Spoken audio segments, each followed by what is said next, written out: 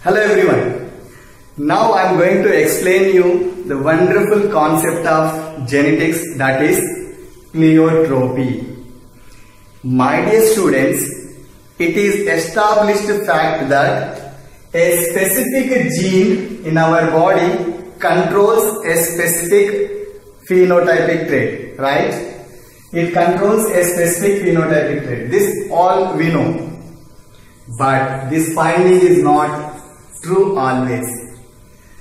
The studies on gene expressions revealed that sometime a single gene involves in many phenotypic traits, controlling many phenotypic uh, traits.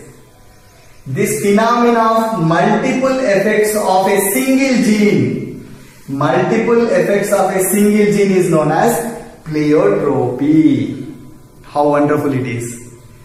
Generally we think that a gene is uh, controlling a character, that's it. No, sometimes a single gene may controls many phenotypic traits in our body.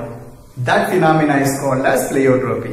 Let us understand by taking one example that is phenylketonuria which is a disorder in our body. PKU is one of the disorder happens in our body.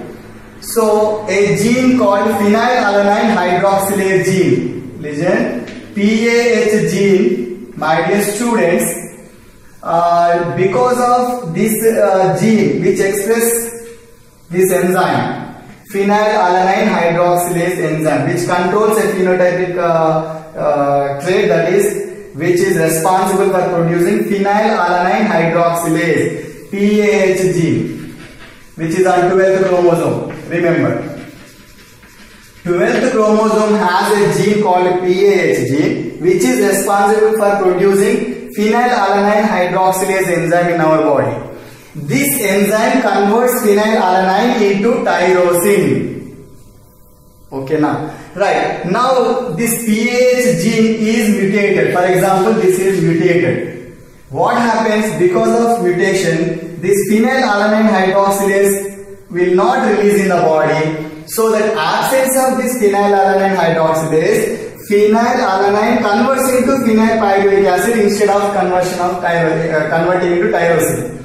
It will convert into phenylpyruvic acid, PPA, phenylpyruvic acid, which is dangerous one when it accumulates in the body tissues, which leads to some phenotypic traits like mental retardation, reduced hair, skin pigmentation. See, a single gene is responsible for uh, different phenotypic traits. This is called pleiotropy. When it is not mutated, uh, which is releasing uh, which is helping to release an enzyme called phenylalanine hydroxylase, which is converting uh, phenylalanine into tyrosine. When it is mutated, the same gene, the same gene. When it is not uh, mutated, the uh, deficiency of phenylalanine hydroxylase is happening so that phenylalanine is converting into phenylpyruvic acid. So this is a single gene sometime uh, controls more than one phenotypic traits known as pleiotropy.